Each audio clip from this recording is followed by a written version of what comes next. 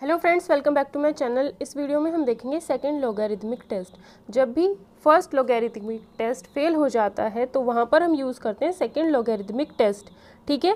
तो ये simple apply करना है। मैंने बताया था जहाँ पर भी u n upon u n plus one आएगा ग्रेटर देन वन आता है तो वो कन्वर्जेंट होता है अदरवाइज़ डाइवर्जेंट होता है। जब लेस देन वन आएगा और इक्वल टू वन पर तो टेस्ट क्या हो जाता है?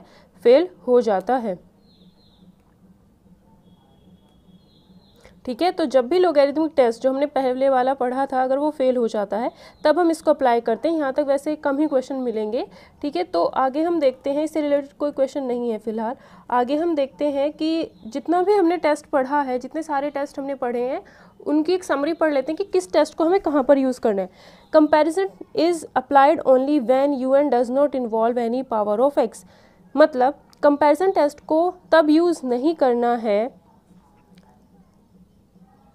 मतलब कंपैरिजन टेस्ट को हम तब यूज़ करेंगे जब हमारे क्वेश्चन में एक्स की पावर ना हो और उसमें कोई फैक्टोरियल ना हो, ठीक है?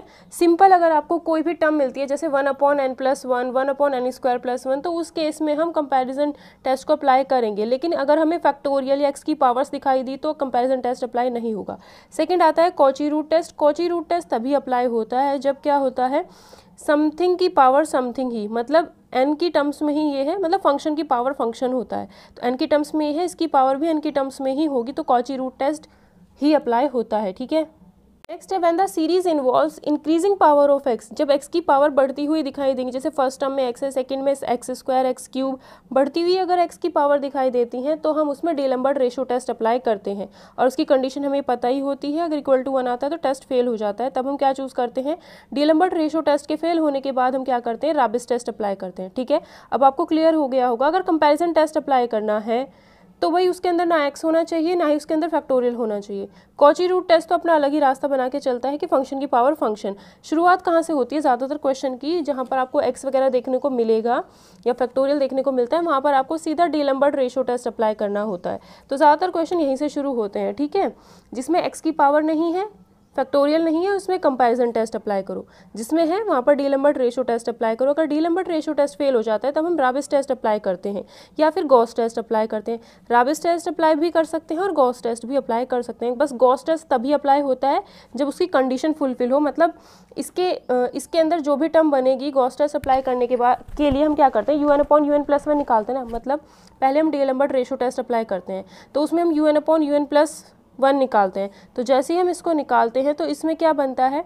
अगर इसको सॉल्व करने पर हम बाइनोमियल थ्योरम अप्लाई करके एक quadratic one plus lambda upon n plus O n square मतलब जो इसकी कंडीशन थी, क्या कंडीशन थी गॉस टेस्ट की?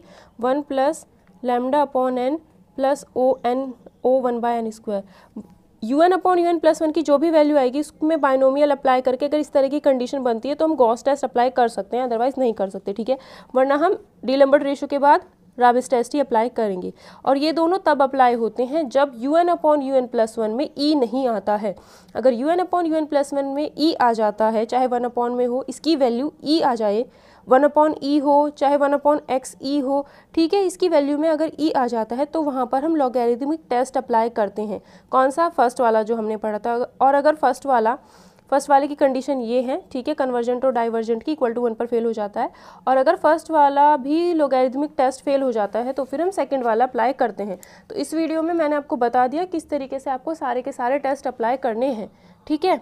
आपको प्रैक्टिस से ही आएगा। ज़्यादातर क्वेश्चंस में आपको डिलम्बर्ट रेशो टेस्ट ही अप्लाई करना होता है। अगर आपको वहाँ पर एक्स दिखाई दे रहा है या फैक्टोरियल एन दिखाई दे रहा है, ठीक है? जिसमें एक्स नहीं है फैक्टोरियल नहीं दिख रहा है, वहाँ पर कंपैरिजन टेस्ट जहाँ पर फ़ंक्शन की पावर फ़ंक्शन है, वहाँ पर Cauchy root test D'Alembert fail होता है तो राबिस टेस्ट अप्लाई कर सकते हैं गॉस टेस्ट भी अप्लाई कर सकते हैं। बस गॉस टेस्ट के लिए फिक्स कंडीशन है। बस इसमें बायोनोमल थ्योरम अप्लाई करके हमें इस कंडीशन में चेंज करना होता है, ठीक है? फिर लैमडा के ऊपर डिपेंड कर जाता है। वो मैंने लास्ट क्लास में गॉस टेस्ट पूरा कंप्लीट कराया हुआ है, ठीक है? और अगर इसमें ये वैल्यू जब हम निकालते हैं डिलम्बर्ट रेशो टेस्ट अप्लाई करने के बाद, ठीक है? और हम जब ये वैल्यू निकालते हैं, अगर इसमें ई e आ जाता है तो हम फिर अब क्या अप्लाई करते हैं? फिर हम अप्लाई करते हैं लॉगेरिथमिक टेस्ट फ़र्स्ट वाला फेल होता है तो सेकंड अप्लाई करते हैं, ठीक है? इसमें भी एक कंडीशन होती है, क्या जो हमने लॉगेरिथमिक टेस्ट वाला कर रखा है, इसका क्वेश्चन कर रखा है, उसमें कंडीशन होती है कि पहले तो हम यही अप्लाई करेंगे। कौन सा? राबिस टेस्ट ही डी नंबर रेशो टेस्ट ही अप्लाई करेंगे। इन दो कंडीशन में तो हम बोल देंगे। भले ही चाहे इसकी वैल्यू वन अपॉन मान लो इसकी वैल्यू आपकी आई है वन अपॉन एक्स इक्वेशन करा रखा है, उसमें आपको क्लियर हो जाएगा वैसे ये। लोगेरिथमिक टेस्ट वाली वीडियो में आपने u n upon u n plus one निकाला ये, ठीक है? तो ग्रेटर दैन वन पर कन्वर्जेंट है one upon x e less than one पर डाइवर्जेंट है कोई क्वेश्चन और one upon x e equal to one पर फेल हो जाता है तो इस कंडीशन में हम लॉगेरिथमिक टेस्ट अप्लाई करेंगे। यहाँ पर तो हमें फिक्स हो गया, यहाँ पर तो हमें डिलम्बर्ड रेशो से ही पता चल गया बट ये वाली जो कंडीशन हो जाती है x equals to one upon e ये जो आया है, इसमें हम फिर लॉगेरिथमिक टेस्ट अप्लाई करते हैं, ठीक है? तो लोगरिथमिक टेस्ट वाली वीडियो आप देख लेना, उसमें आपको समझ आ जाएगा अच्छे से। अगर आपको वीडियो पसंद आती है तो प्लीज़ इस वीडियो को लाइक कर देना और हर एक टॉपिक की आपको प्लेलिस्ट मिल जाएगी। हर एक की तो नहीं मतलब कुछ टॉपिक्स की प्लेलिस्ट बनी हुई है तो वहाँ से आप जा कर के टॉपिक्स देख सकते हो। ठीक है?